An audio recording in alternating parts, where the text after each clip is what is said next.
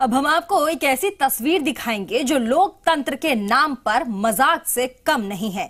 दौसा के महुआ नगर पालिका में कहने को अध्यक्ष तो नर्मदा देवी है, लेकिन कुर्सी पर उनका बेटा बैठता है। वो भी पूरी ढिठाई के साथ। रिपोर्ट देखिए।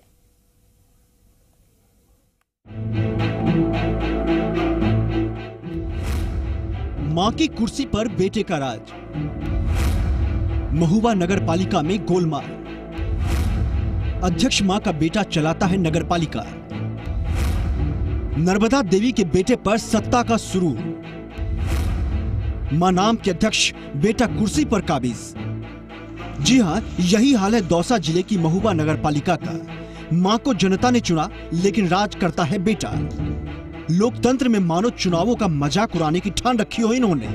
अध्यक्ष चुनी हुई माँ गद्दी पर बैठकर बेटा राज करता है। अब जरा इस गोलमाल में शामिल सभी किरदारों का परिचय भी जान लीजिए। महुबा नगर पालिका के अध्यक्ष हैं नर्मदा देवी।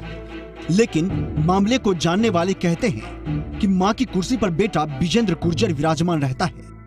को बेटा बैठा हुआ है वहाँ पे कुर्सी पे और वही सारे उनका देख रहा है। इतना ही नहीं नगर पालिका उपाध्यक्ष शीला गुर्जर ने अध्यक्ष की कुर्सी पर बैठे विजेंद्र गुर्जर के सीसीटीवी फुटेज निकालकर जयपुर डीएलबी तक को भेज दिए।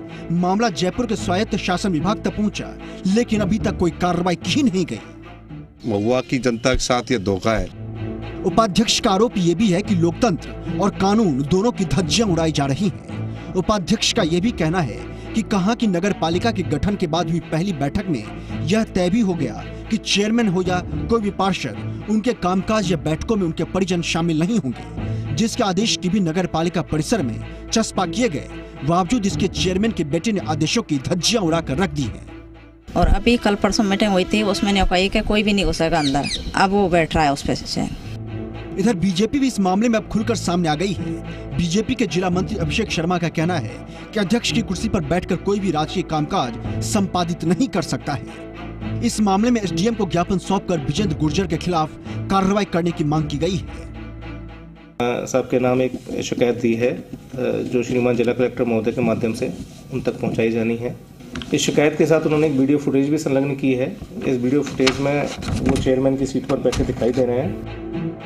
बहरहाल जो भी हो मामला दौसा जिला प्रशासन और जयपुर डीएलबी तक पहुँच चुका है। लिहाजा देखना होगा कि इस विवाद का निपटारा किस तरह से किया जाता है। लक्ष्मी अवतार शर्मा, जी मीडिया दौसा। तो फ़िलहाल के लिए विशेष में बस इतना ही। इसी के साथ जी राजस्थान में खबरों का सिलसिला लगातार जारी है। बने रहिए, देखते रहिए जी राजस्थान।